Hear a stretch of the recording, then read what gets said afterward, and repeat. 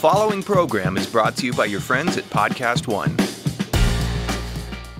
Here are some useful car tips you might not be aware of. A coffee filter and a little bit of olive oil can clean your interior. Removing excess weight from your car will improve gas mileage. And you can place your key fob to your chin to increase its range. Weird, right? Well, here's another tip you might also not know about. TrueCar also helps people get used cars. That's right, TrueCar isn't just for buying new cars. With their certified dealer network and nationwide inventory of nearly 1 million used cars, you'll enjoy real pricing on actual inventory and a simpler buying experience, whether you buy new or used. And with TrueCar, users can see what others paid, so they know if they're getting a good deal before buying. They're also more likely to enjoy a faster buying experience by connecting with TrueCar certified dealers. When you're ready to buy a new or used car, check out TrueCar and enjoy a more confident car buying experience. Some features not available in all states. There's a highway that follows the eastern edge of Manhattan called FDR Drive. It runs virtually uninterrupted from the United Nations building in Midtown all the way up to Harlem, overlooking the East River. Various footpaths, bridges, and tunnels cross over, under, and alongside FDR Drive as it goes. On January 24, 1991, a man walking his dog along the footpath that passed under the Wards Island Bridge discovered a body. She was a young Latina girl, barely a teenager. She lay there still, lifeless, but with no clear cause of death.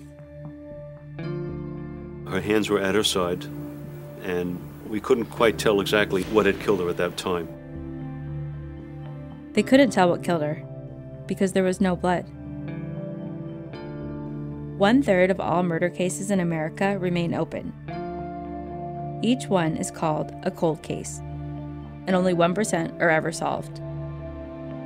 From A&E, this is Cold Case Files, the podcast.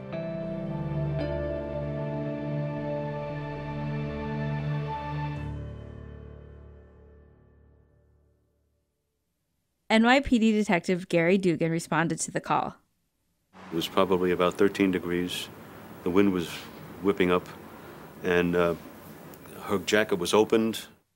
An ambulance tech began inspecting the girl's body at the scene.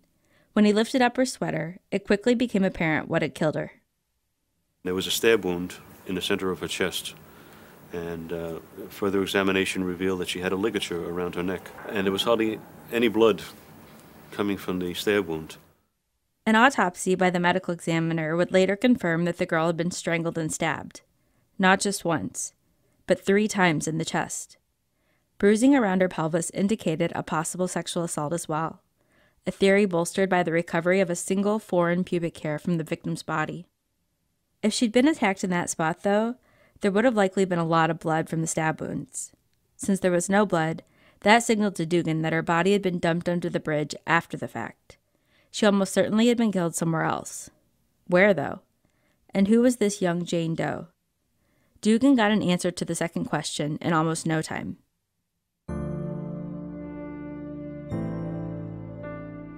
I guess we were there probably about 45 minutes when we heard that there was a, a female at the 23rd precinct reporting that her daughter was missing. 13 year old Paola Illera had left school earlier that day, but never made it home, and her family of nine was worried sick. With a picture of their Jane Doe in hand, Detective Dugan and his partner, Detective Maria Bertini, are able to confirm with the family that the girl under the bridge and their missing daughter are indeed one and the same. She had recently come from uh, Cali, Colombia. She did not speak English. Uh, she was going to school to learn it. Paola was a very sheltered girl. She wasn't allowed to go out alone. She um, she wasn't a street child. So now now you're totally confused because she wasn't out. How did this happen? According to Paola's uncle, she hadn't gone missing on the walk home from school. Not exactly. While school is the last place she was seen, she was heard from around 4:45 p.m. She buzzed her apartment her grandmother and uncle were at home at the time, and they asked on the intercom, who, who is it? And she replied, It's me. They buzzed her in, and she never reached her floor. Detectives began canvassing the building, questioning other residents, and showing Paola's picture, trying to find anyone who may have seen her that afternoon. Two detectives reported that they located a woman who was on the elevator with the girl.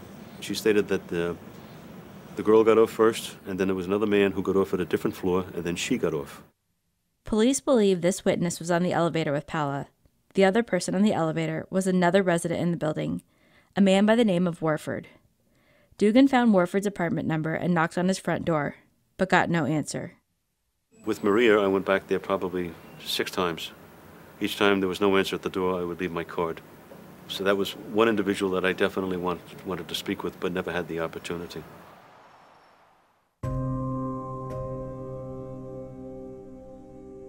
With no clear suspects from the apartment building, police developed a theory that Paola may have been stalked, that her attacker may have been someone who followed her home either from school or from somewhere along the way.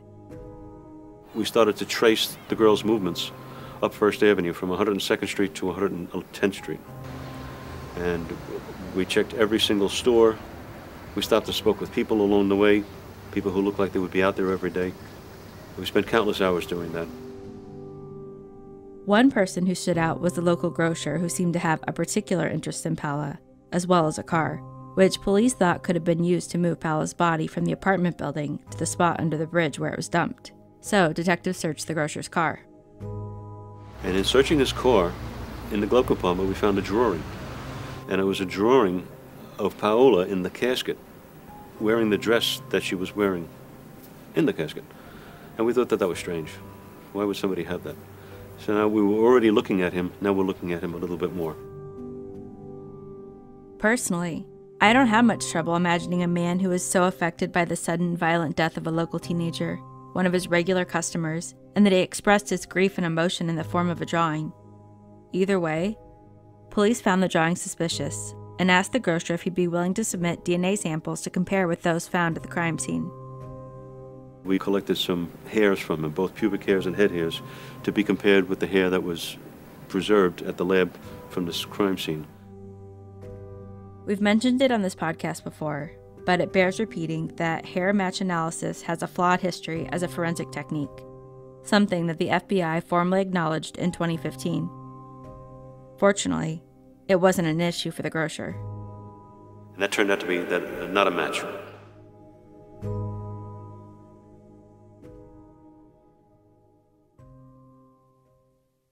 Detectives Dugan and Bertini were running out of leads fast. Paola's murder case was going cold, and they were powerless to stop it. There's a basic theory in any given homicide. If you haven't solved the case within 72 hours, stop, go back and start over again.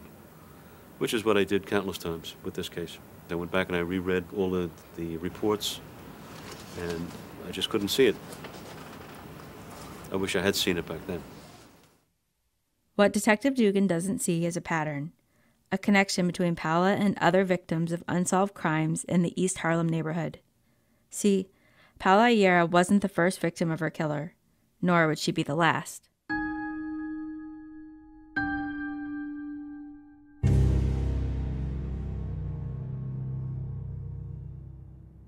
Six years later, in September of 1997, firefighters respond to a call in East Harlem. Fire is coming from the roof of a high rise apartment complex. At first, it appears to be a pile of trash that caught a spark and burst into flame. It doesn't take long for the firefighters to put it out. But as the water does its work, they realize what they thought was trash was actually a body doused in gasoline and set ablaze. Detectives arrive on the scene quickly, but the damage is already done. Here's Detective Thomas Lombardo. When I get up there, there was also uh, a, a, lot of other people up there, but you could see the uh, outline of a body that was burnt beyond recognition up on the roof landing. And unfortunately, the crime scene was ruined because of the uh, fire department when they put the water on. But it wasn't their fault because, they, of course, they didn't know that there was a body over there. I imagine the firefighters would have had an obligation to put out the fire whether they knew there was a body or not. But regardless, the water had washed away any possibility of finding blood or bodily fluids which could have led the police to a killer. All that was left were a few bits and pieces of burnt clothing and jewelry, which indicated that the victim was a young woman. Well, your first step is you have to try to find an identification on the body, and of course, if uh, there's no ID or anything at the scene, we have to go uh, knock on doors throughout the whole project facility, which is a lot of buildings. Police go door to door in the nearby buildings, but are unable to get any information about the burned girl on the roof. So, they start combing through missing persons reports and put out word of their murder to precincts all around New York City. We got a response from a Bronx precinct who had a missing person report of a young woman by the name of Johalis Castro. That's Scott Wagner, the NYPD detective who worked this case. Wagner took the burned jewelry to the family of the Bronx, who reported Castro missing, and they confirmed that it did indeed belong to her. Dental records then confirmed that the woman from the roof was Johalis Castro.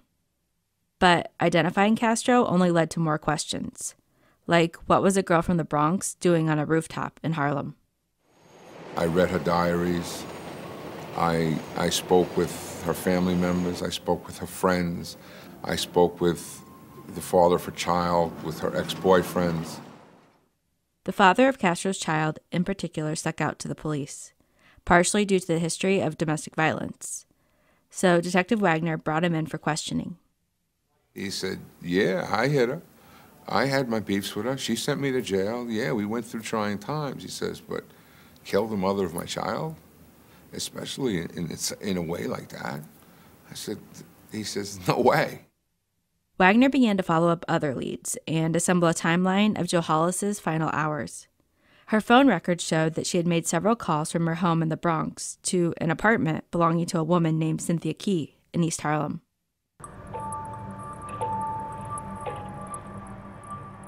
I spoke to Miss Key on the phone. I called up, identified myself. I asked her if, you know, she knew this, you know, this person. She said no. She says, but I have a son who, you know, is about that age. Maybe he might know her.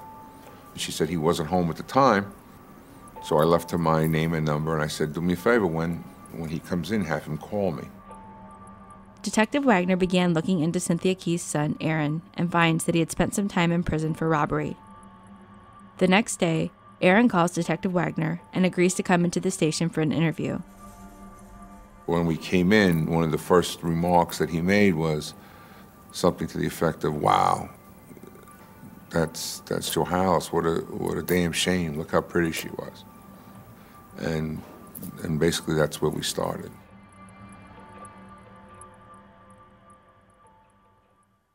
He was very well spoken, very charismatic a, a good-looking man. He was dressed casually yet clean and neat. He would look me dead in the eye. Every question I asked of him, he seemed to answer readily. He seemed to be forthright. Aaron confirmed that he did know Johalis. The two of them were friends. According to him, they had made plans to meet up on the day she was murdered, but she didn't show.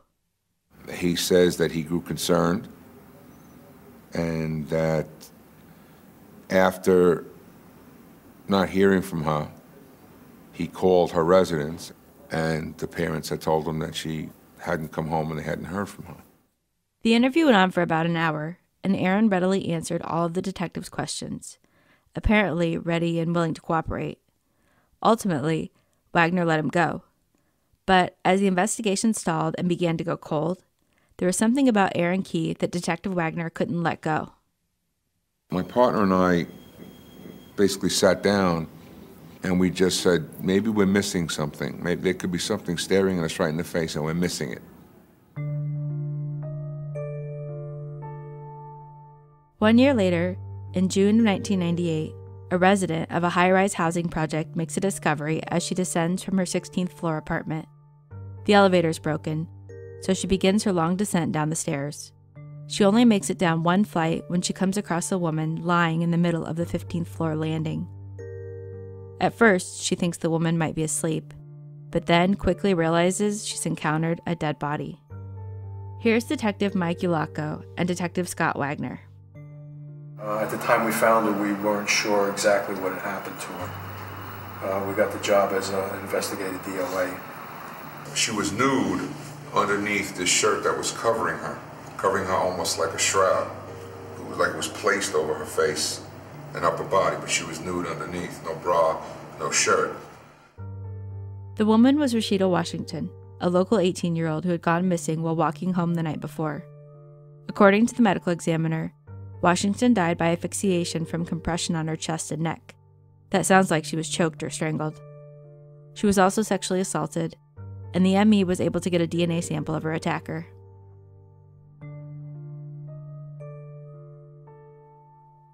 The investigation was slow going. After numerous interviews, police still didn't have a viable suspect. Then, six months later, forensic scientist Karen Dooling was working evidence kits from unsolved homicides. She entered the DNA collected from Rashida Washington's murder in the New York City DNA database and got a hit. It wasn't with another murder case, though. It was a match with an unsolved rape case. The victim was ID'd in the system as Rape Victim 1. Here's Karen Dooling. Case from Rape Victim 1 was originally believed to be part of a different pattern. And um, as it turned out, that case was not part of that rape pattern, but had created a new pattern with homicide victim Rashida Washington and this rape case. Not just this case, but three unsolved rape cases were linked to the same person who assaulted and killed Rashida Washington. So, in order to solve their murder, detectives start working the rape cases. Here's Detective Robert Mooney, who investigated the case. When we looked at those cases and we looked at Rashida, there was a lot of similarities. The physical characteristics of the victims, they almost all looked like each other. In speaking to the rape victims themselves, police were able to establish a pattern. The perpetrator would follow the same sequence of violence with every one of his victims. They also took descriptions of the attacker and turned them into composite sketches, which were then printed on flyers and posted around East Harlem. Residents of the neighborhood took note of the flyers and began calling in tips. The strongest tip led them to a particular complex of buildings where residents told police they should speak to a man named Ace. As a result of that information, we searched the computers and find out that a man by the name of Aaron Key, who also used the name Aaron Warford, has the nickname of Ace and lives at 420 East 111th Street. And when we get a picture of him, he very eerily resembles the person in the sketch. Do those names sound familiar? Aaron Key, aka Aaron Warford, aka Ace. You're probably putting it all together right now. And so will detectives. After the break.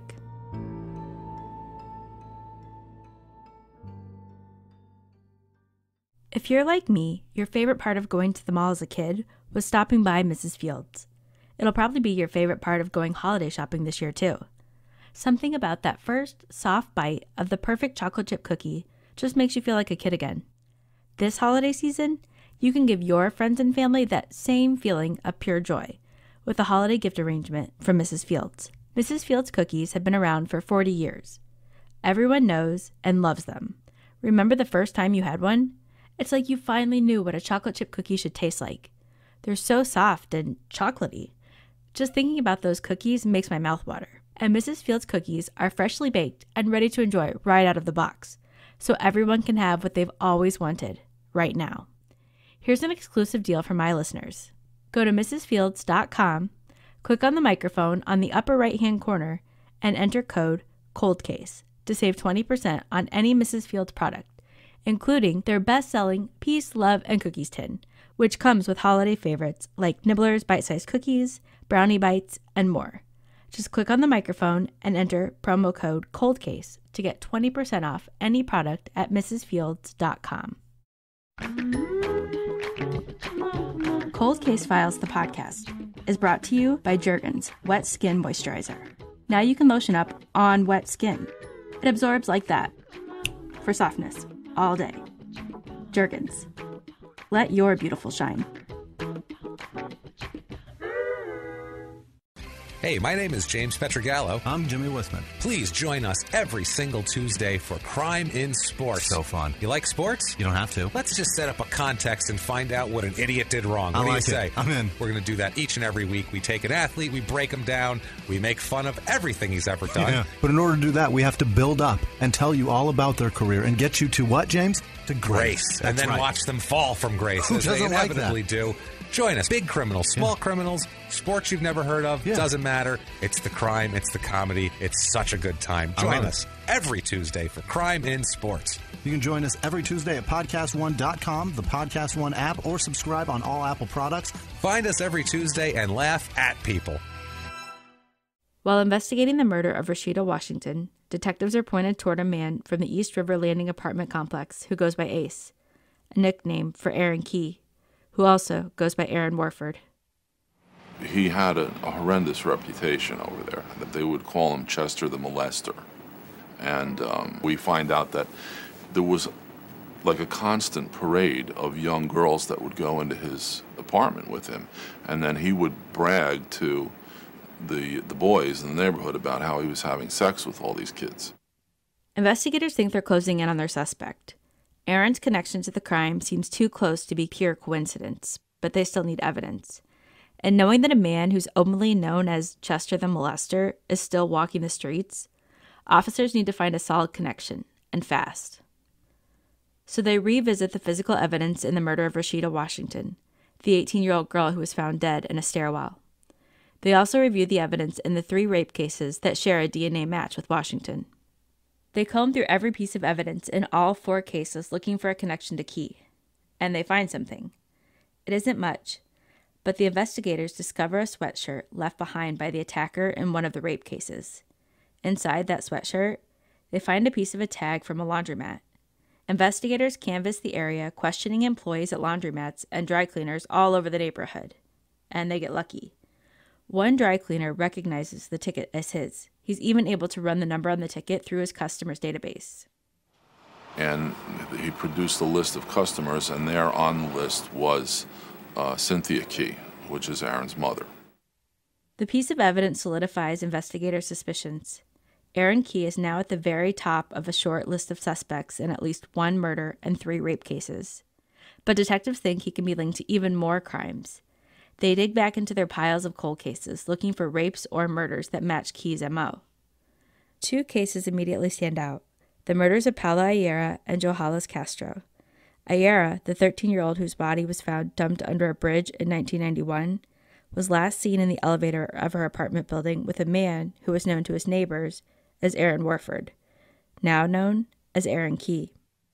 Six years later, Castro's burned remains are found on a rooftop in East Harlem, and the man believed to have had last contact with her, the victim's friend, Aaron Key.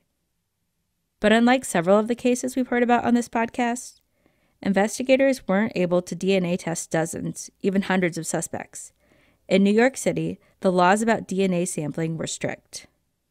In New York State, the defendant's rights are vehemently protected by the law. And in order for us to get a warrant for anything, you have to have probable cause. At this stage of the game, um, we did not have probable cause. We were working on building probable cause. Detectives meet with Assistant DA Richard Plansky to determine their next move. Here's ADA Plansky. So at that point in time, we were in sort of a tricky position in that we were all quite sure that we knew who this serial murderer and rapist was, and yet he's completely at liberty, and there was nothing we could do about it. So the strategy was let's see if we can find a way to get his DNA.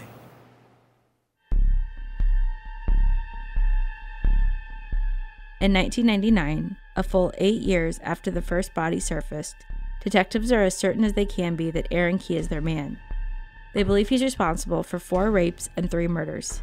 But to really seal their case, the investigators need DNA evidence, and they're willing to get creative in order to get it. Detective Robert Mooney explains their strategy. The orders were if you see him, follow him wherever he goes. If he spits on the sidewalk, get out with a paper towel and try to sop it up. If he throws a cigarette butt away, get that. If he throws a soda bottle away, go in the garbage, and get it. Whatever we have to do to get something that's going to yield a DNA sample. Officers and detectives track Key's every move for more than a week, but they come up empty. No discarded gum, no cigarette butts, no soda bottles. It was almost as if Key saw them coming. We had detectives who didn't fit in that well in that neighborhood, and um, We're pretty sure that Key knew he was being followed. Uh, he was easily able to evade them. And uh, the bottom line was we were not successful in obtaining DNA that way. We, we had to get lucky again before we got his DNA. After 10 days, the surveillance is called off and investigators are forced to look elsewhere for the DNA. But it seems like they might be out of opportunities. Key appears to know he's being followed, so he's being careful. For a while at least. Investigators catch a bit of luck when Aaron Key is arrested on petty larceny charges in February of 1999. It's not enough to hold him for rape and murder, though, so they need to act quickly. Again, they get creative. Detectives Robert Mooney and Joel Potter bring Key in for questioning, but before they do, they fill the interrogation room with tissues and soda and cigarettes, hoping he might leave behind some DNA evidence. Our intention was to try to get the DNA legitimately but surreptitiously so that he didn't know that we were looking at him that way. He's no dope, you know, so you, you have to play it, you know, kind of laid back. So we waited a while, and then we had him brought up by patrol, and we put him in the interview room. And Detective Mooney and I sat down, and we started talking to him. The detectives are careful. They don't come right out with the rape and murder charges. Instead, they start asking Key about other crimes he might know about, and Key is more than willing to talk. He started coughing up all sorts of information about drug dealers in East Harlem, which all turned out to be complete nonsense. But Aaron is a very uh, he's a very narcissistic individual and likes to be in the spotlight. Periodically, you know, I'd offer him coffee or a can of soda, or we had tissues, I believe, on the table, anything to get a shot at getting DNA evidence. But he didn't take any of it. Key isn't taking the bait, and detectives are running out of time so they switch tactics. So finally, we bring in uh, the female detective dressed as the doctor, and she goes through her routine. Under the guise of being a medical examiner, the detective tells Key that the Department of Health is testing detainees for TB, and she needs a sample of his saliva for screening. Key agrees to the screening and is given a consent form to sign. He reads it closely. And on that release, it says that the saliva is going to be typed for DNA and will be stored in the medical examiner's data bank. He literally had pen in hand until he read that last line because we were watching him, you know, real close. And he just put the pen down and he looked at us and he said, I can't do this. Uh, and then he told us he was a Jehovah's Witness and that he couldn't do it. It was against his religion. It would be an invasion, you know, to his body. The detective's last and arguably bizarre plan has failed them. So they step out of the interview room and regroup. And that's when Detective Joel Potter has a sudden burst of inspiration. So we were sitting there, you know, kicking it around. What are we going to do? Too bad, you know, it was a good shot. Uh, and then it dawns on me, they feed these guys. So I hustled my butt downstairs and I took all the coffee cups from his cell. Detective Potter gathers up five cups in total from Key's holding cell. Meanwhile, Key's arraigned on the larceny charge and gets out on bail. Now investigators are racing against time to find a positive DNA match between the victims and one of the cups. Every day that they wait, young girls all over East Harlem are in danger. Three days later, forensic scientist Karen Dooling is rapidly testing the five cups. She swabs them all, then begins analyzing each for a DNA match. Almost immediately, she gets back a match, then another, and another. First, she matches the DNA from one of the cups to the two rape cases. Then she tests it against the unknown profile in the Rashida Washington case. It's also a match. Dooling is sure as she can be that the cup she matched to the rapes and murder is key. But it's not exactly airtight. After all, there was another man in the holding cell that day. We knew that Aaron Key had drank from one of those five cups, and that one of those five cups were consistent with the pattern, but you couldn't exactly link a particular cup with Aaron Key and to the pattern. The cup's DNA isn't enough to charge Key, but it is enough to provide probable cause. Warrant in hand, the detectives head out in search of Aaron Key.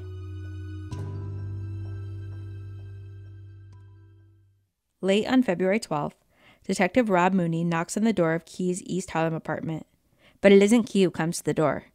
Instead, his roommate answers, claiming he has no idea where Aaron is or when he'll be home. Then, the roommate's phone rings.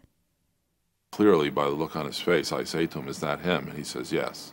And Aaron's on the phone. So I take the phone from him and uh, I explain to him who I am. And he says, Yeah, I know who you are.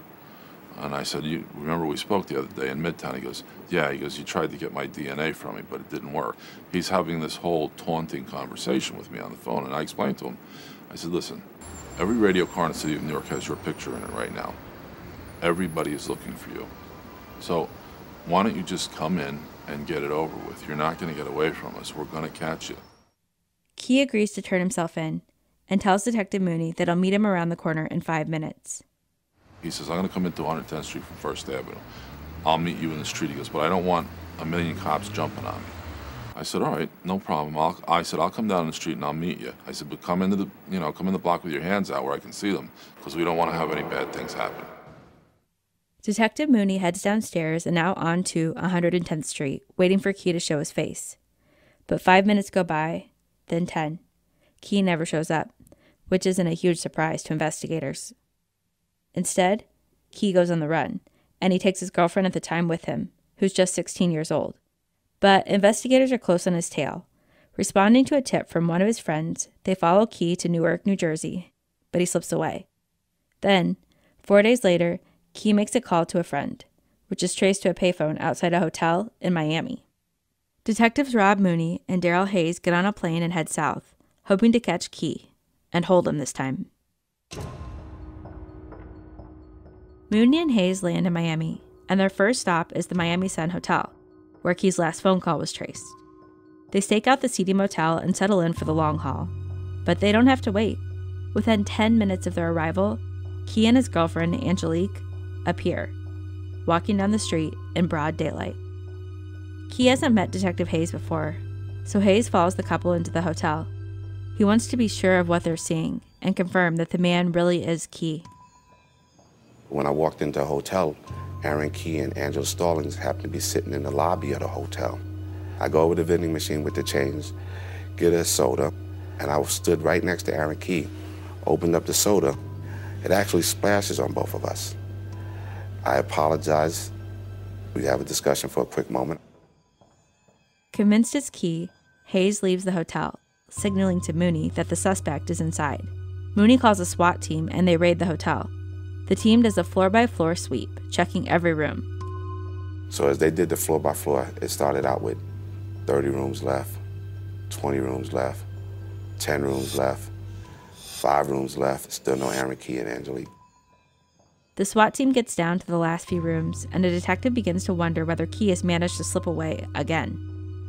Me and Detective Mooney are sitting in the lobby, and we're saying, this don't look good. It's getting ugly. Then, the SWAT team enters the very last room in the hotel.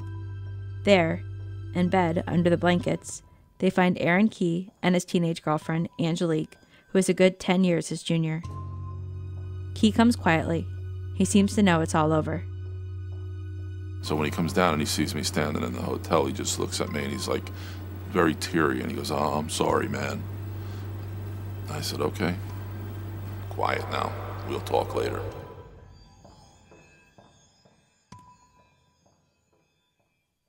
Nearly 10 years after the murder of Paola Illera, and roughly a thousand miles south of where the investigation began, detectives finally have their man in custody. In the Miami Police Department, detectives Mooney and Hayes sit down with Key. For seven hours, they question him about the rapes and murders, but Key stays quiet. He refuses to give up any information. He's not upset, he's calm. Aaron Key is fascinating to talk with because everything with him is short and sweet. He doesn't want to answer a whole lot of questions in detail. He denied vehemently ever having committed any of these crimes. I explained to him about the DNA. Um, he questioned whether or not it was possible for the lab to make a mistake because he never did these things. Confronted with DNA evidence, Key still keeps his cool. Then, investigators show him something that cracks his veneer. They present him with a crime scene photo of 13 year old Paola Illera lying dead near FDR Drive. He put his head down and would not talk for one hour. Put his head down. It was like he was stunned that we knew that that was him as well. No matter what we did, no matter what we said, we couldn't get him to respond for anything. Key does manage to say something. He asks for an attorney, and the interrogation is over. Disappointed, the detectives leave the interrogation room. Outside the door, Key's girlfriend, Angelique, is waiting. She asks Daryl if it's okay if she goes in and says goodbye to him before she leaves. And Daryl comes over and he says, Can we can we let her do that? And I was like, No, absolutely not. She's 16. We're not letting her go in and say goodbye to a mur- murdering rapist. It's not happening. But Hayes thinks Angelique might jar something in Key, so he's persistent. And eventually, Mooney allows Angelique to speak with Key, under the supervision of Detective Hayes, of course. He hugs her and they're kissing. He's telling her verbally, I'm sorry, I'm sorry. And he says, Boo, I love you, I love you. And it's an emotional moment. With Daryl in the room, she says to him, What did you do? And he blurts out admissions about every single thing. All of the all three murders and the rapes. The detectives finally have their confession, but they aren't quite sure of what to do with it. Technically, Key had already lawyered up, so was the confession admissible? I'll let Assistant DA Plansky explain. The problem being that it was also after he had asked for a lawyer. Now, the rule about that is once somebody asks for a lawyer, you can no longer interrogate them. However, that doesn't mean that if he decides to say something, you can't listen and write it down, which is exactly what Detective Hayes did. So that was an unexpected bonus that we had essentially a confession. In addition to his confession, detectives collect Key's hair, blood, and saliva to test against the victims. His hair is matched to the mitochondrial DNA testing to the pubic hair left behind at Paola's rape and murder. He's also matched the DNA found on Rashida Washington. And despite a lack of DNA evidence in the burning murder of Johalis Castro, circumstantial evidence strongly links Key to that scene as well. Ultimately, Key is extradited back to New York where he's set to stand trial for four rapes and three murders. Detectives believe a guilty verdict is all but guaranteed. Then, Key pulls a twist that is nothing short of film worthy. The best analogy that I can think of is the movie The Usual Suspects, in which Kevin Spacey is being interrogated by a police detective and using objects in the room puts together this tremendously detailed fabrication uh, that explains why he's innocent. Inside a Manhattan courtroom, the district attorney lays out what he believes to be an open and shut case. He was a classic predator, a serial rapist, serial murderer who preyed on children in East Harlem for eight years. There were, I believe, about 130 witnesses, um, including the four living rape victims, uh, the families of the young women who had been murdered. Um, lots of forensic evidence, pretty much every type you can imagine. The prosecution makes a tight case. Aaron Key operated in East Harlem for years, raping and killing young women whenever the mood struck him. One of Key's ex girlfriends told the jury exactly how he was able to dump the bodies without attracting attention. Key's preferred mode of transferring bodies was to make them look like laundry stuff these beautiful young women into shopping carts, make them look like dirty clothes, and wheel them around town, sometimes in broad daylight. And then he would just walk around the neighborhood until he found whatever building it was that was going to suit his purpose that day, and then dispose of the body in the building. That's how Rashida got into 1345 Fifth Avenue. That's how Joe Johalis got to the roof of 218 East 104. And that's how Paola got to 102nd Street underneath the footbridge walked over there in a, in a shopping cart. And while the prosecution presents their case, Key is calm. He sits at the defense table, typing on a laptop, taking notes. Later, the prosecution would realize the notes were a blueprint for Key's bizarre, film worthy defense. He was writing furiously throughout the trial. In the end, we realized that what he was doing was concocting his last great con, which was a conspiracy theory that he threw together to account for the devastating evidence that we had assembled against him. On December 13th, Key finally took the stand. His defense shocked everyone, but convinced no one. According to Key, he was framed to cover up a massive black market organ scam running out of the New York Medical Examiner's office. He stated that he was given information that exposed the scam on a CD that was confiscated by the police when he was arrested. Then things took an even more bizarre turn. Here's Assistant DA Richard Plansky again. Fortunately for him, he had written down the pertinent information from the CD on his t shirt, which he happened to be wearing uh, while he was giving his testimony and had not washed in two years. He asked the judge if it would be possible for him to step off the stand, remove his shirt, take off the t shirt so he could refer to his notes. And the judge, who was as shocked as the rest of us, said yes. So Key then went in the back and came back a few minutes later holding this incredibly uh, nasty t shirt that had writing all over it and used it to refresh his recollection and spin this tale that he made up uh, from any available uh, information that he picked up from the media and movies and books and the trial. Um, shockingly enough, the jury didn't buy it.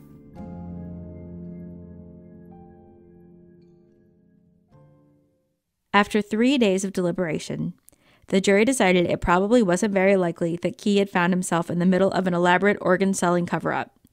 More likely, he was a vicious, calculating rapist and murderer who would say and do anything to avoid jail time. The jury convicted Aaron Key on four counts of rape and three counts of murder. He was sentenced to life in prison for the murder of Rashida Washington and 25 years to life for the murders of Johalis Castro and Paola Illera.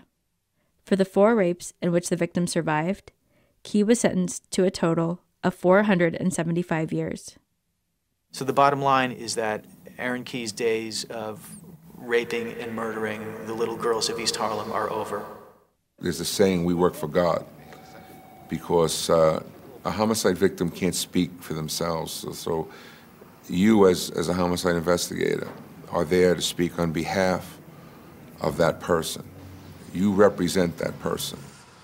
In this case, you get a little bit more satisfaction because you know a person like him would have continued to commit crimes like this. Other women would have been raped, other kids would have been murdered.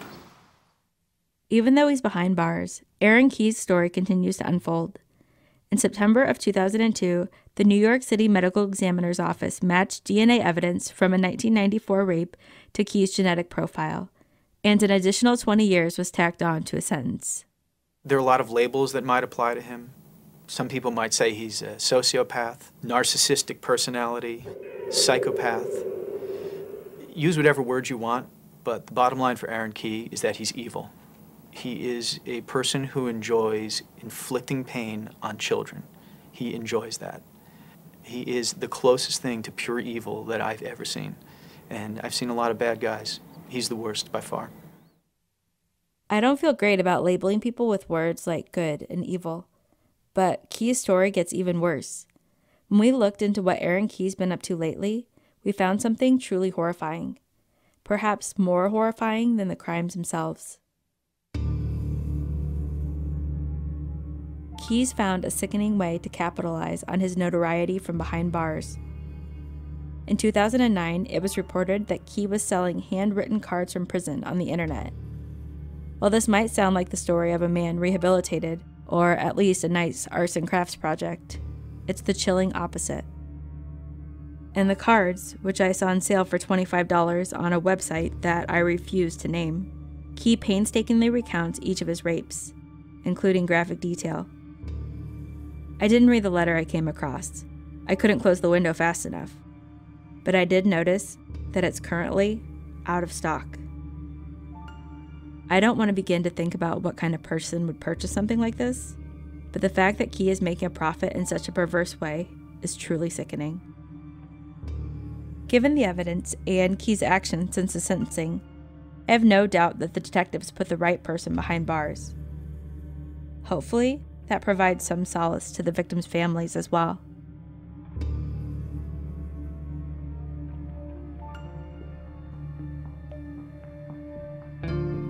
Cold Case Files, the podcast, is hosted by Brooke Giddings.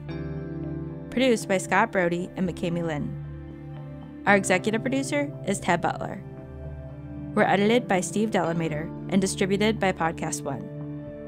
This story was adapted from A&E's Cold Case Files, which was produced by Kurtis Productions and hosted by Bill Kurtis. Check out more Cold Case Files at aetv.com and by downloading the A&E app.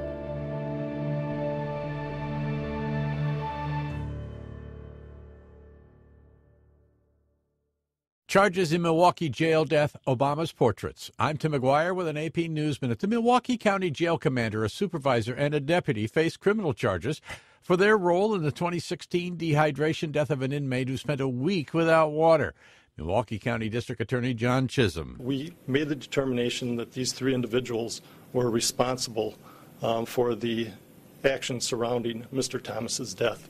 Investigation found Terrill Thomas had water to his cell shut off as a punishment for flooding it with a mattress in April 2016. Supervisor and deputy face neglect charges. The commander is charged with misconduct. The official portrait of both former President Barack Obama and Michelle Obama were unveiled today at the National Portrait Gallery. Obama jokes that he tried to get artist Kehinde Wiley to put less gray in his hair and smaller ears.